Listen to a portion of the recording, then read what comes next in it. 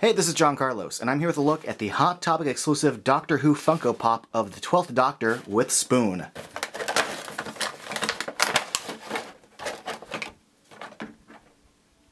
So this pop is a variant of the regular 12th Doctor pop, the main difference being that this one's got a new right arm with a gloved hand holding a spoon from when he fought Robin Hood.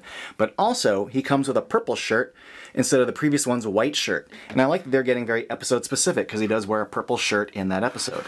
Now, if we go in for a closer look, you can see his arm, and I think, you know, it matches with the rest of his coat really well. Mine's got a little black paint dot, but no big deal.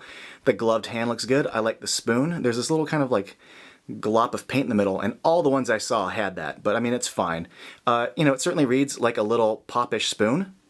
Um, the rest of him looks good, like the coat looks good. I like the little buttons on the back, the little lines, like the seams of the coat, I think all look great. I love the swish with the inner lining. The paint is well done there. The paint for his purple shirt looks great too.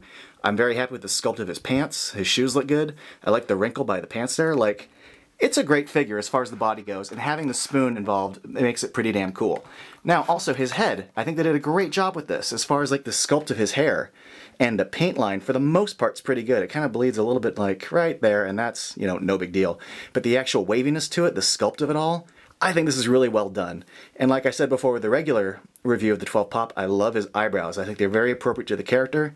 It conveys his attitude, and I think this one's got really clean eyeball paint. It's got clean paint overall. Like, I'm really happy with how it turned out. I love it. Thanks for watching.